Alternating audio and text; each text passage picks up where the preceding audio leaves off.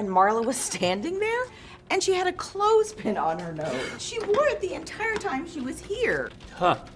Yeah. Can you imagine that? Would you like to sit and talk on the patio? It's hailing, Kevin.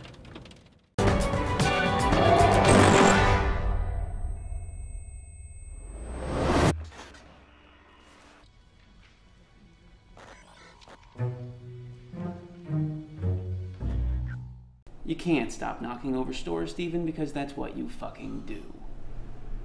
You do that for me, you do that for your grandma, and you do that for yourself. You understand me? Uh, It's not what it looks like. I suspect you have no idea what it looks like.